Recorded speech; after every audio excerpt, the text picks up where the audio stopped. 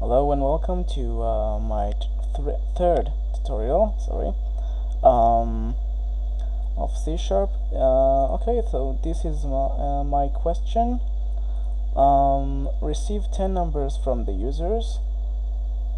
After the user done type the 10 numbers, then present the highest number and its serial number. So let's say that the user type 25617 uh, 34214 so this is the highest number eventually and the serial number is 5 because uh, 1 2 5 4 3 4 5 5 5 is the um, serial number of 7 okay so let's begin the quest of this uh, programming. Um, okay so let's uh, initialize num. We have num and we want to uh, counter it before and then we want the loop that's called for loop and I will explain it. Just let me type it again because I have no multitasking whatsoever. Um, okay. So let's say this is my code. Uh, my code is gonna be a loop till 10 and how it's gonna be and I will explain it. I will initialize uh, i okay which is 0 okay then 0 okay which is i equals 0 will loop till the till 10 and then i which is 0 will add up 1 so whatever the code is after it will done um, uh, executing um, it will be uh, add up 1 so then 1 will be presented in i then till 10 okay? Um, okay let's see uh, what we're gonna do here. Um, then num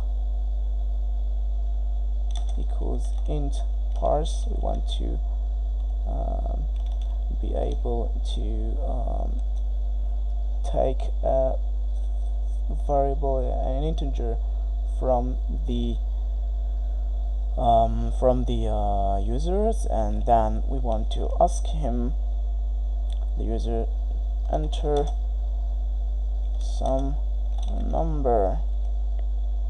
Okay. And then after they um, they just uh, enter a number we want to see if it's greater than the uh, than any number of uh, of the of the previous number that they just typed. Okay so let's say I want to ask them if num is greater than and then we will say uh, let's say temp. Okay temp equals uh, 0 then temp then we want temp to be num. Okay so it let's say that just uh, uh, they just um, go into the for and temp is uh, zero of course. So uh, the user type uh, let's say the number 3 and 3 is greater than 0 so 3 will be saved as temp okay? And then we'll present temp as our uh, highest number. Maybe this is not the uh, the greatest name of the world. Let's, let's say highest highest. Here this makes then more sense.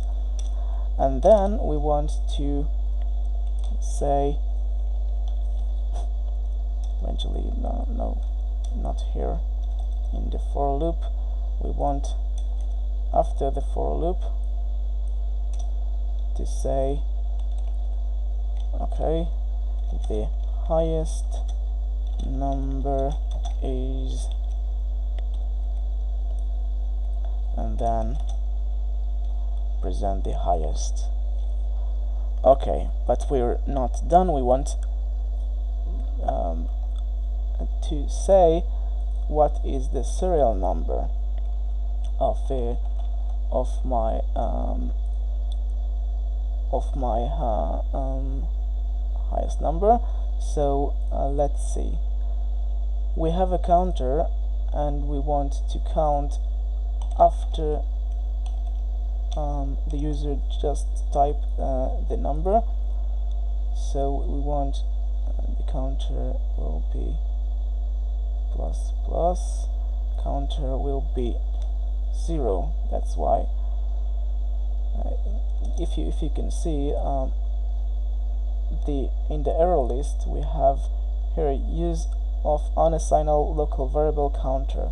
That means that counter has no value just now and we can't um, we can't eventually uh, proceed uh, and add up one to it because because it's not uh, because it's not uh, uh, any number. So we the computer doesn't know what to add up to. So we want to add up and then we want to have another variable I think um, highest counter maybe. Okay.